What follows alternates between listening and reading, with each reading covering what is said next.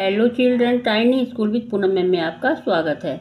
कैसे हैं आप लोग? आई होप आप लोग अच्छे होंगे। तो बच्चों, आज हम लोग कहानी करेंगे।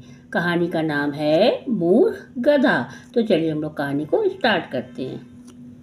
मोहन अपने गधे पर नमक लाद कर रोज शहर जाता था।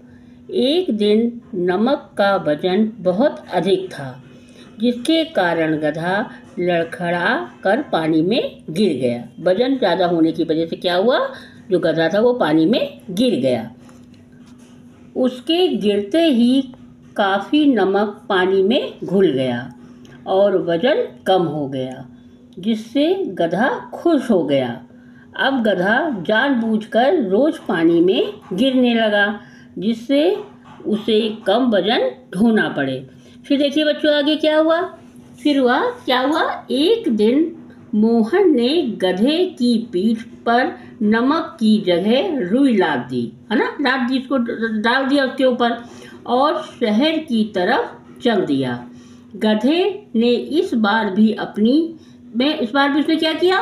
पानी में गिरने का नाटक किया। जैसे वो पहले गिरता था, ऐसे ही उसने फिर नाटक करके पानी में गिर पड़ा। परंतु इस बार पानी में गिरते ही रुई गीली होकर और भारी हो गई।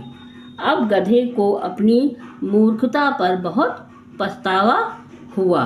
तो इस कहानी से क्या शिक्षा मिलती है कि जो बेवकूफ़ होकर बेवकूफ़ी की सज़ा भुगतनी ही पड़ती है। हमें भी, हमें क्या करना है? अगर हम मूर्खता वाले जो होंगे, मूर्खता के काम करेंगे तो हमें उसका फल मिलता है, यानी उसकी हमें सज़ा मिलती है। तो आज हम लोगों ने कौन सी कहानी पढ़ी? मूर्ख गधा। तो आप लोगों को कहानी कैसी लगी? अगर आपको मेरी कहानी अच्छी लगी हो तो लाइक करें सब्सक्राइब करें शेयर करें। Thank you